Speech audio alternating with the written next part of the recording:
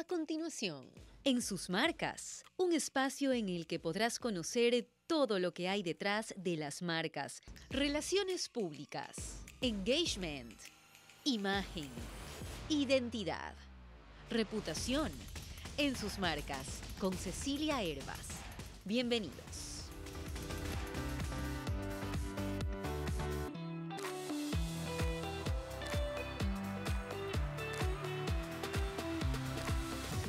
En 47 años de vida institucional de FedExport, la Federación Ecuatoriana de Exportadores, Cintia Mayer se ha convertido en la primera vicepresidenta y presidenta del directorio de esta institución.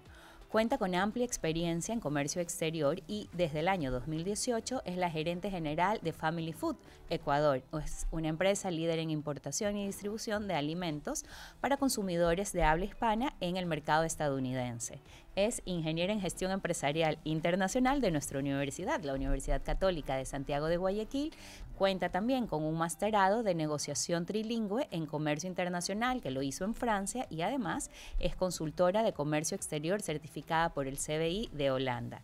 En los años 2003 y 2011 lideró las oficinas comerciales de Ecuador en Miami y en Londres y ha sido pionera en abrir mercados para varios productos ecuatorianos. También inició OWIT Ecuador, que es la organización para mujeres que realizan y que trabajan en comercio internacional, y en marzo de este año organizaron el primer Congreso Internacional de Mujeres en Comercio Exterior. Cintia, gracias por acompañarnos el día de hoy. Gracias Cecilia, gracias por la invitación. Es un gusto tenerla aquí, sabemos que su agenda está bastante apretada, así que muchísimas gracias por este espacio. Cintia, quiero hacerle una primera pregunta, porque el comercio exterior y en general el comercio es un mundo liderado por hombres. ¿Cómo se abre espacio a una mujer en este mercado? Bueno, en realidad existen muchísimas mujeres dentro del comercio exterior y eso es algo que hemos querido visibilizar justamente con todo el tema de OWIT. Creo que las mujeres que hemos estado involucradas en este sector se nos reconocen mucho por, por nuestra capacidad técnica, por las áreas donde hemos logrado realmente más destacarnos, pero uno puede darse cuenta que hay mujeres que han logrado unos roles importantes tanto del lado de la exportación como del lado de la logística, en el lado de los puertos, en el lado de las aduanas. Entonces, en realidad estamos viendo que, la mujer ha podido dentro de este sector también tener un papel cada vez más importante. ¿Y por qué antes no había tal vez el espacio? ¿Qué cree usted que falta? Antes para no abrir tantas plazas o, por ejemplo, ser la primera presidenta en 47 años de la Federación de Exportadores. Sí, eso sí es cierto. Es cierto que quizás antes estaba más metido para hombres. Por ejemplo, algo que, que yo lo he vivido muy de cerca es que la carrera desde siempre me ha exigido muchos viajes, ¿no? O sea, tener temas de comercio internacional, uno obligatoriamente tiene, que, salir, viajar, buscar clientes, abrir mercado. Y eso de alguna manera muchas mujeres no lo, no lo, sienten como una interrupción dentro de lo que puede ser su vida familiar o se autolimitan quizás eh, por otros compromisos que puedan tener también familiarmente. Entonces, eso eh, intimida quizás a ciertas mujeres. Eh, que quizás teniendo algunas propuestas he visto que la, propuesta ha llegado por su parte profesional, pero deciden no avanzar por la parte personal o familiar. Claro, eso también es importante y lo vamos a tratar en el siguiente bloque también. ¿Cuántos idiomas habla Cintia? Cuatro. Cuatro. ¿Y cree que esta es la puerta? ¿Este es uno de los secretos para las mujeres que están en este mercado? Sí, 100%. O sea, en realidad los idiomas son una llave para abrir puertas en todo el mundo. Nos ayuda a crear relaciones más directas, más fuertes, a, no tener ese miedo tampoco en el tema de viajes, de poder manejarse bien en cualquier lugar y definitivamente los idiomas son lo, mejor que uno puede hacer en este ámbito. Ok, perfecto. La internacionalización de la que hablamos, que también empezamos por los idiomas, también es conocer culturas diferentes y adaptarse. ¿Cómo ha sido su experiencia en este sentido?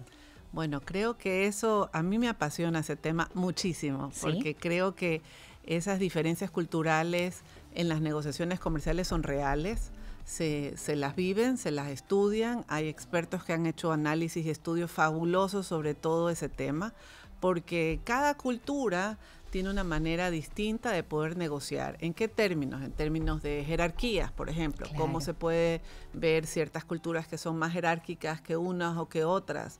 O también podemos ver el tema de cómo es la toma de decisiones, de qué manera se toman las decisiones de acuerdo a una cultura o a otra. Entonces, eh, y así lo podemos analizar también en factores de masculino-femenino, lo podemos también analizar eh, en otros factores también sobre cuánto yo puedo resistir eh, o, tener resistencia hacia algo nuevo, la incertidumbre. Esos son, por ejemplo, factores que, los hizo Hofstede, que es un analista holandés, y donde se comprueba que esas diferencias culturales definitivamente afectan todos estos lados. Entonces, si nosotros estamos en comercio exterior, lo vivimos porque a mí me ha pasado también y a todos los que estamos en comercio exterior o, cualquier persona que tiene contacto con otra cultura se da cuenta que piensan diferentes en ciertas cosas o valoran distinto ciertas cosas. Claro, y el tema también de llegar a una negociación. Las mujeres en algunas culturas no sé cuánta apertura realmente tienen en eso. ¿Cómo ha sido esta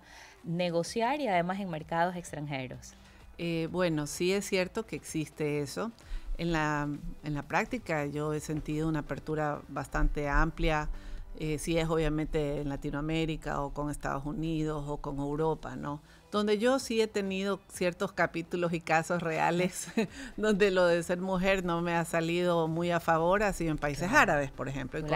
cultura Pero también. Yo lo atribuyo también que, aparte de la cultura que ellos tienen, no todo el mundo tiene ese perfil. Es decir, eh, cada vez estamos globalizándonos más y yo creo que el tema de esa cultura, por ejemplo, árabe, que sí es más, más fuerte o cerrada a querer negociar con una mujer, no se puede generalizar que todos son así. Entonces eso a mí sí me ha sucedido, pero si no es con esa empresa o no es con esa persona que estás negociando, entonces tienes que ir al segundo o al tercero o al cuarto, pero no dejarte vencer y lograr igual el objetivo, ¿no? Pero es, es un proceso. ¿Cuáles son las competencias necesarias que una mujer debe tener para poder eh, hacerse espacio en el comercio exterior? Bueno, yo creo que por un lado siempre tener esa curiosidad para aprender, estar siempre muy actualizada con las normas, especialmente en comercio exterior hay que recordar que eh, hay muchos temas de barreras, ¿no? De barreras de acceso a mercados que pueden ser eh, directas o indirectas. Entonces uno tiene que saber antes de ir a negociar qué es lo que pasa en ese mercado, cómo me afectan a mí las normas. Eh, eso es importantísimo, ¿no? Por otro lado, creo yo que la perseverancia te va a ayudar siempre, no importa en la carrera donde estés, pero tienes que, saber que te va a tocar esos obstáculos, vas a tener esas dificultades, pero no dejarse vencer por ellos, ¿no? Y en tercer lugar, yo diría también una motivación, ¿no? O sea, eh, tener cierta ambición para, bueno, ponerme metas y, yo creo que en lo personal el hecho de tener una meta a mí me ayuda mucho. ¿Cuál es la motivación de Cintia? bueno, mi motivación diaria es mi familia definitivamente. Todo lo que yo hago es, es, por ellos y a favor de ellos, es lo, principal. Pero personalmente también, siempre uno profesionalmente quiere seguir creciendo, llegando a otro otro esquema más y ver, bueno, ¿y qué más? ¿Qué, más, podemos hacer? Sí. Cintia, queríamos saber si estos productos pequeños, estas personas, pueden ver como un futuro claro realmente llegar a una exportación o solo lo hacen estas empresas muy grandes y posicionadas en el mercado, sabiendo que usted es gerente de Family Foods, que, trabaja un poco en esta área también. Completamente, pienso que sí, que hay un potencial total y que realmente hay muchísimas oportunidades comerciales afuera para empresas que están recién creciendo, ¿no? ¿Qué cosas yo recomendaría, no? En primer lugar, ver cuál es la propuesta de valor de ese producto, es decir, cuál es el valor agregado que le está dando, qué me diferencia junto a la demás competencia y comenzar a formar esa propuesta para el momento de salir a un mercado, tener que eh, realmente pueda llamar más la atención de mi producto. En segundo lugar, estar muy al tanto de lo que son las certificaciones de calidad que esa es como la tarjeta de presentación, porque cuando uno no sale, igual nadie ve una tarjeta o ve un brochure, no puede saber si estás hablando de una empresa tan grande o mediana o pequeño emprendimiento, pero las certificaciones sí. Porque si a mí me dicen que es una empresa de alimentos, que tiene una certificación HASA, porque tiene una certificación BRC, entonces yo ya sé que estoy hablando con una empresa que cumple normas, que sabe trazabilidad, que conoce temas de inocuidad y que el producto que está vendiendo eh, va a llegar bien con los requisitos mínimos al mercado. Entonces, una certificación de calidad es una tarjeta de presentación sin lugar a dudas, ¿no? Y de allí el tercero, mi recomendación también, mientras va afianzando también el mercado local, es comenzar a ver los mercados regionales.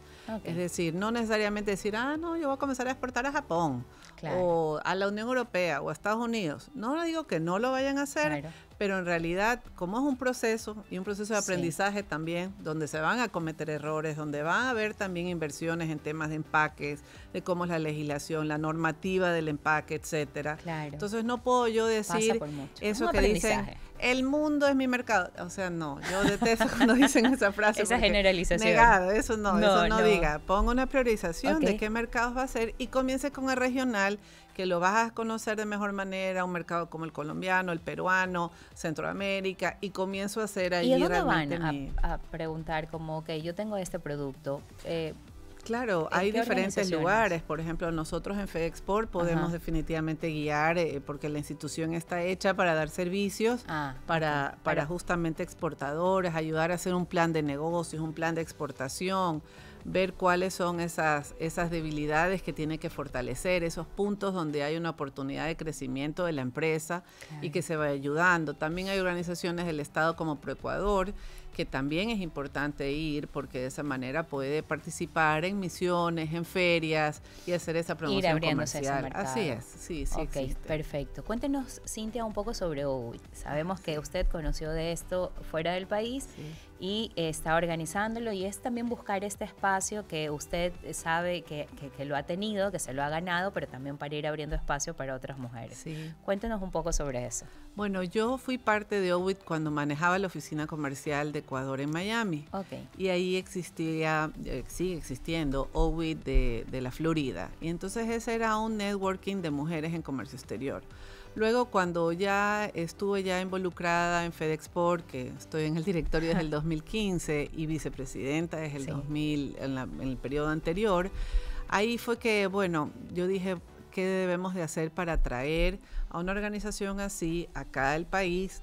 Eh, porque realmente no existía, no existe nada aquí en el país que, digamos, visibilice cuáles son esas mujeres que están trabajando en el comercio exterior, se las ayude a, fortalecer, a tener un buen networking, a ver esas capacidades, cómo se las puede ayudar y, crear más oportunidades de negocio. Esto es realmente en sí enfocado en temas de negocio. Entonces, se lo trajo, solamente existe OWIT México, también hay uno en, República Dominicana eh, y realmente un par más. Entonces, eh, Hicimos todo el trámite, todo el proceso para, traerlo, legalmente también. Ah, y FedExport es, digamos, la, organización Paraguas que lo maneja como capítulo Ecuador. y, ha sido impresionante la respuesta porque ha habido ahí, eh, eso es uno de los puntos principales, ¿no? De poder unificar y decir, bueno, ¿dónde están esas mujeres de comercio? y aquí están. O sea, cuando antes decían, no, es que no hay mujeres en comercio exterior, mentira. Sí hay, y aquí están, y en OWIT se, se va creciendo cada vez más.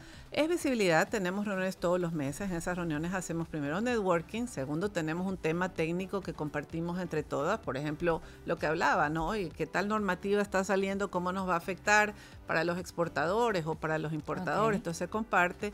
Y el último tema siempre lo tratamos de dejar un poco para esa parte personal de ah, crecimiento, porque entre las mujeres hemos creado un lindo grupo de, de apoyo de que nos aplaudimos entre nosotras, de que nos damos ese, ese apoyo de decir... porque siempre se dice que entre mujeres a veces en los, en los mismos equipos no hay esta sororidad de la que tanto se habla, no hay este apoyo, hay como esta pelea qué bueno que también ustedes tengan para poder impulsarse. Cero pelea, aquí es cero. Es realmente un grupo eh, muy positivo, muy a favor, que de verdad la una apoya lo que la otra persona va. Si alguien está haciendo un evento, también vamos para que se sienta que estamos las mujeres allí apoyándonos y que no es eso de que, ay, no, es una bruja, no, no, no, nada.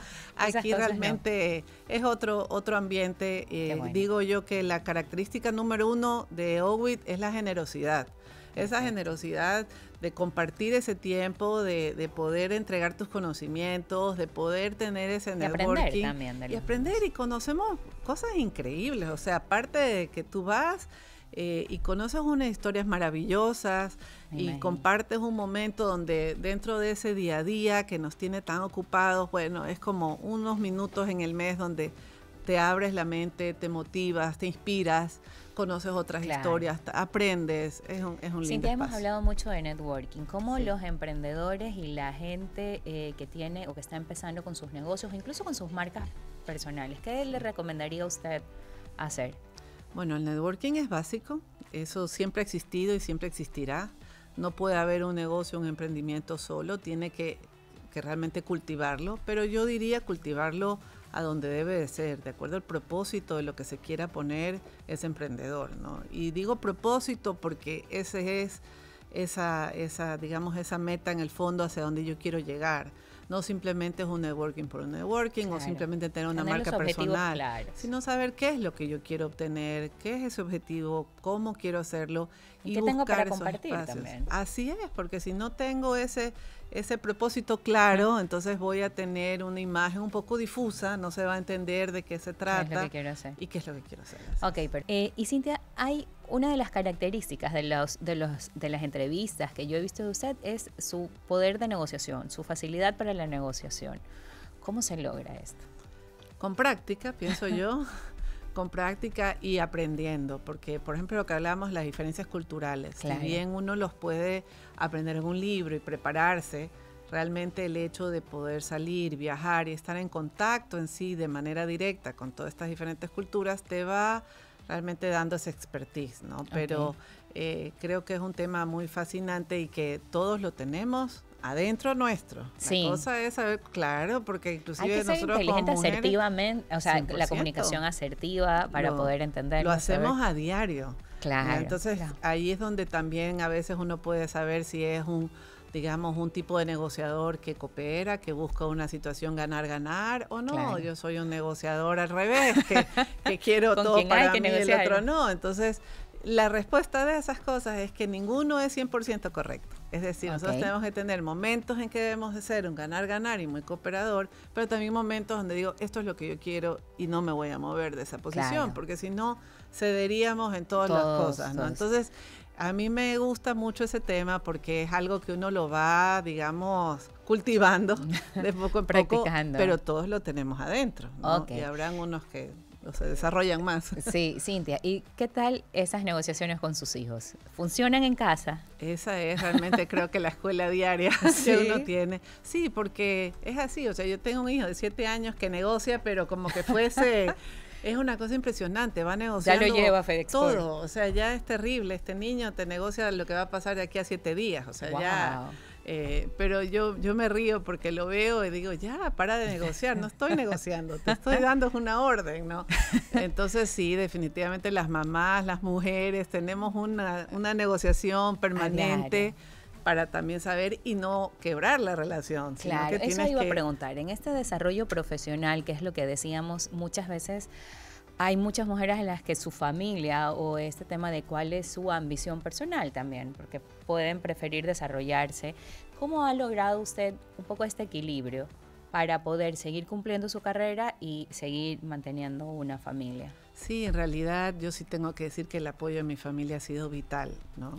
Y, ha sido tanto del lado de, mi esposo, de mis hijos, como también de, de mi mamá, de mis hermanas, o sea, es como un network también familiar que, me ayuda, que me sostiene. Por ejemplo, saber que cuando yo viajo por trabajo, eh, tengo el apoyo de varias personas que me están ayudando para que mis hijos eh, los recojan, los traigan, que son cosas que, que también uno los piensa, ¿no? Por supuesto. y que le preocupa. Si mi mamá me ayuda en esto, que mi esposo también los recoge. O sea, sola no lo pudiese hacer, y eso hay que reconocerlo también así, porque uno eh, no es pues super mujer, uno tiene que reconocer que necesita ese apoyo y si no fuese por el apoyo de ellos, tampoco no hubiésemos salido a vivir afuera, tampoco no hubiésemos, o sea... ¿Qué es la experiencia de vivir con una familia fuera del país? Muy recomendable, muy recomendable. Eh, no voy a mentir que no sentía cierto peso encima de que ok. Y me tiene que ir bien, porque me tiene que ir bien porque he traído a, todos. a mí me han dado esta oportunidad, pero vamos, pero el hecho de tener ese voto de confianza y de que en el fondo vemos que todos crecimos, si bien yo crecí profesionalmente, personalmente todos y como familia también nos ayudó mucho porque ellos también tuvieron su momento para en, diferentes maneras personales también tener ese crecimiento, aprender otras culturas, aprender más idiomas, tener experiencias laborales diferentes, de trabajo, de, estudios. Entonces creo que es un, ahí sí un ganar-ganar como familia. ¿Y cómo se logra ese equilibrio? Eh, no, es, no es sencillo, no es fácil. Eh, hay ciertas cosas que yo no negocio, es decir, que cuando ya son temas de mis hijos, que eso sí es una prioridad 100%, pero en realidad sí hay que tener esa flexibilidad para poder avanzar eh, dentro de esta carrera, pero que se puede, se puede. Se puede, sí. ¿Y qué le hace falta en el ámbito profesional a usted, Cintia? Bueno, yo siempre... ¿Cuál es la siguiente meta? algunas, no las ah, quiero revelar ah, todavía aquí. Pero, me imagino que sí, hay muchas todavía. Sí, sí, sí, sí, sí hay. Definitivamente hay. Yo creo que es parte de esa motivación diaria de salir, de trabajar, de hacer un esfuerzo, hacer un sacrificio. Es hacia dónde más vas, qué es lo que quieres eh, para ti, para los tuyos. Entonces, para el país también, para porque el, trabajo de ustedes. Así es, y como del lado de FedExport es, es tan importante como federación porque hay tantas cosas que van sucediendo al mismo tiempo y que uno tiene que que estar presente y dar esa voz que a veces no es de aliento, sino de preocupación, de, dar ese mensaje también de cómo estas cosas pueden afectar a los exportadores. Entonces es algo que realmente no, no, no es de 9 a 5, no es que es de lunes a viernes. Es una preparación también que no para, ¿no? Sí, y ojo que eh, en el caso mío como FedExport, yo estoy dentro del directorio, es algo totalmente ad honorem, y entonces el grupo que tenemos dentro del directorio son unos empresarios maravillosos y parte y forman parte también de gremios maravillosos, tienen esa misma vocación. Entonces, eso también ayuda que dentro del directorio y todo el, el personal de FedExport, que son muy técnicos, eh, vayamos a ese mismo ritmo de lo que la, digamos el sector lo necesita. Ok, ¿qué consejo le, le daría usted a las mujeres que los están viendo y que están en este dilema a veces también de, ok, la familia, el trabajo, tengo que necesariamente dejar uno, ¿cómo avanzo? ¿Qué recomendaciones le daría usted? Bueno, pienso que eh, espero que no no no no, renuncien, no renuncien que sigan avanzando. El desarrollo cada vez el tema de las mujeres, cuando ya uno lo analiza también, y se lo ha visto también cuando están en posiciones más altas, es porque eh, todo ese beneficio que gana una mujer en un trabajo, un sueldo, sea, lo que representa hacia una familia hacia atrás es importantísimo. Y el mismo ejemplo que está dando a sus propias familias, a sus propios hijos, a su propio, es, es realmente tiene un valor eh, muy grande. Entonces pienso que, que, no. También se ha visto que cuando las mujeres llegan a niveles más de directivos, eh, impulsan más el, también emplear a más mujeres. Y algo que yo siempre trato de reforzar es que sigan teniendo ese espíritu de femenino, es decir, tú aportas algo siendo mujer, teniendo esa visión que las mujeres tienen, que es distinta, que quizás tiene una mayor empatía con ciertos temas sociales, que puede entender, se no ha comprobado. Que en un hombre. No tienes que convertirte en un hombre. No te conviertas en un hombre. No seas un. Ese es el, e, ese es el modelo equivocado. Pensar de que entonces yo me voy a vestir como hombre, voy a hablar como hombre, voy a. No, tú puedes tener tu misma idea y comunicarla de la misma manera porque eso es lo que ayuda, la diversidad de lo que la mujer puede aportar. Si no, entonces trae otro hombre, ¿no? Claro. Pero la idea es que al tener eso eh, se dé. Y cosas que se han dado también, que los expertos lo, lo han mencionado y se ha validado, es que eh, las empresas que llegan a tener más mujeres y esa diversidad la tienen, suben el valor de la empresa. empresa. Eh, tienen una mayor facturación finalmente, son eficientes en, ciertas áreas más que los hombres, tienen esa empatía más hacia los empleados, esa motivación de entender lo que le puede pasar a los empleados con la familia. A las mujeres también. Así es, entonces es algo más global y creo que aporta y apoya al crecimiento del país. Sí.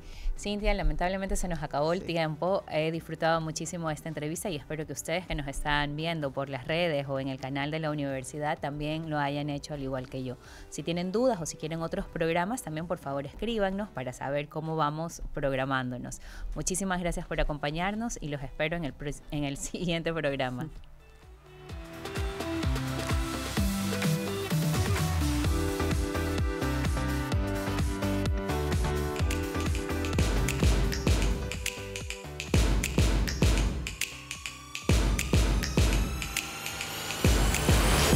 en sus marcas